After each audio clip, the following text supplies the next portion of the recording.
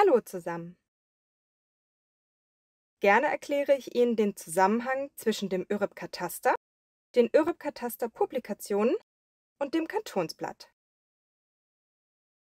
Hier finden Sie den ÖRIB-Kataster mit den Infos zu rechtskräftigen Beschlüssen.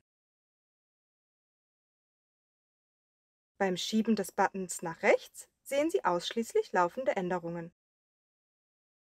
Sind Sie aber auf der Suche nach einem bestimmten Planungsvorhaben? Verwenden Sie dafür doch einfach das elektronische Kantonsblatt.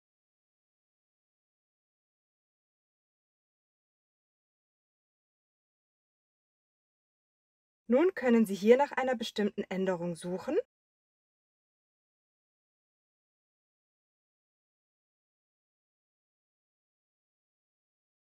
und hier finden Sie dann den weiterführenden Link zu allen wichtigen Informationen. Also zu den ÖRIB-Kataster-Publikationen.